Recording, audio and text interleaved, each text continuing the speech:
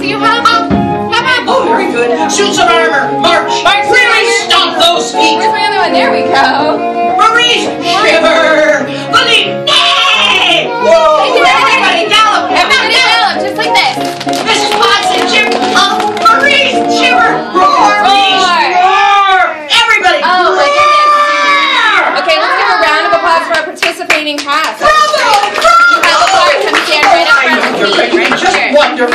Come on, come on. Belle will be so delighted to see you.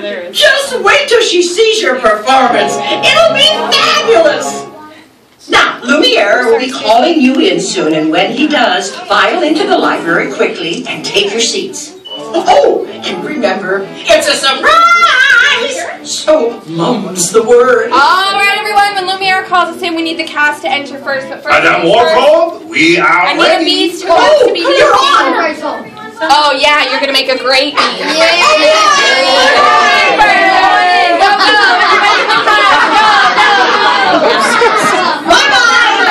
Yeah. Go Jason, go.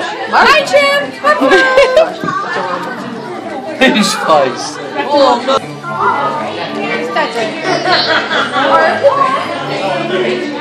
Alright, looks like it's Santa Cross laughing fortunes right this way. Alright, can you have a seat on the floor? He doesn't want to do it because I laughed it. and That's Santa?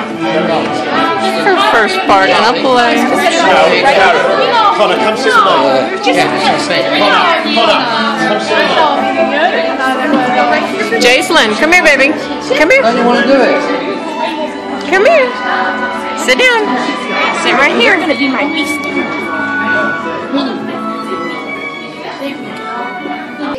So Throughout the entire tale, don't move. I'm joking. You will be marching soon enough.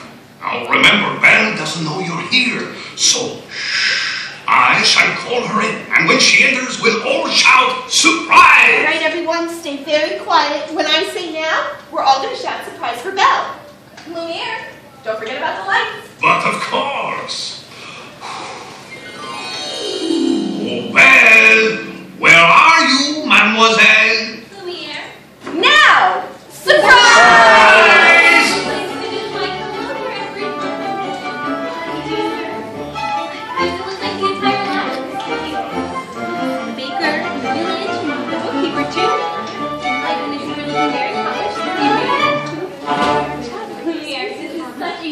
Surprise! But what are all my friends doing here? Well, Shelley, before your big dinner with the master tonight, we thought it would be fun to act out a story with you. Oh, that does sound like fun. I love a good story. Very well. Let us begin. Once upon a time, there was a charming, intelligent young woman whose name was Belle. Village, and each morning to everyone, Belle would say, Bonjour. Bonjour, everyone. Bonjour, Belle. Then, one night, when her father was away on a journey, Belle heard the sound of galloping. Everyone gallop. It was her father's horse, Philippe, returning to town. But Maurice, he was not with him. Belle asked Philippe where her